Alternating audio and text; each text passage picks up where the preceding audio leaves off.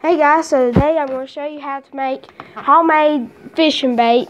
Um, it's better than power bait or any other kind.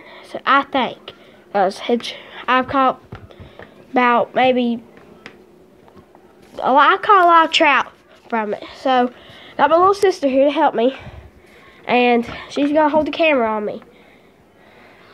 Don't press anything.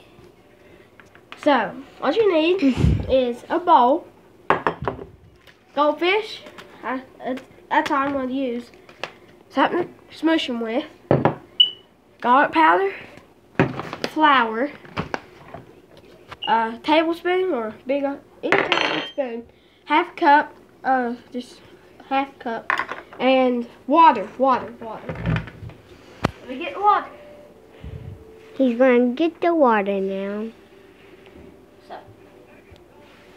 He's going Don't to need his much. So what you need to start out with is crush your goldfish.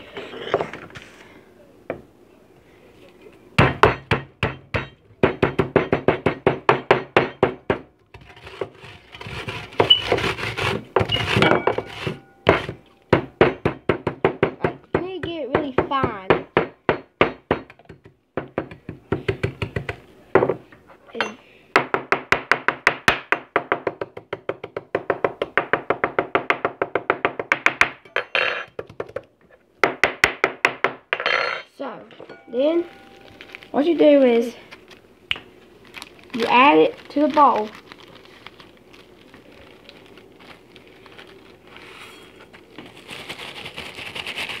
See, it looks like that.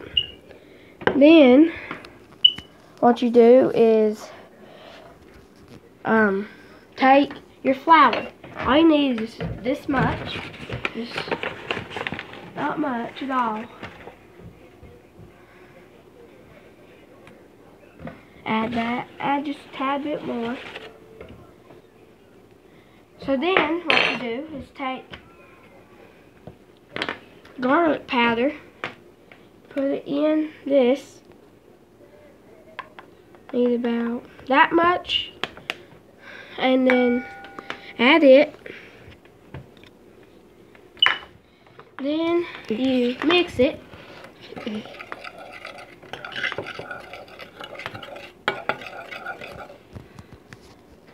And then have to add your water and keep mixing until it forms dough and you have it. So like and subscribe and bye.